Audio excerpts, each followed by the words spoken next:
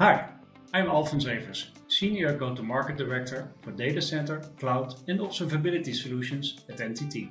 And I'm Matt Watts, and I'm the Chief Technology Evangelist at NetApp.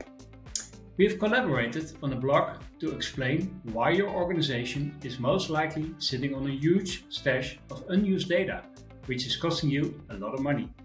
And even worse than that, because data storage runs on electricity, it also means that it's contributing to unnecessary CO2 or carbon dioxide emissions. We've just published a research report called The Unseen Environmental Cost of Data, which shows many organizations have a green data storage blind spot. They know how much of their corporate data is unused, never being looked at. The respondents say they estimate this about 60%, but they're not yet linking this optimization of the data storage to their carbon emission reduction goals. And that's where NTT and NetApp are stepping in to help with our new data waste assessment.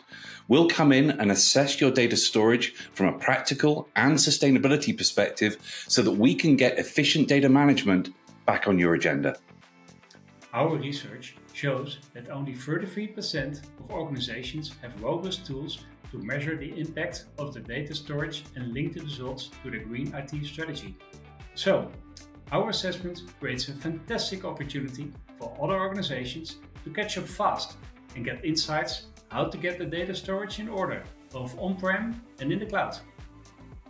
We've also written a blog where we'll explain all the different reasons why so much unused data builds up over time.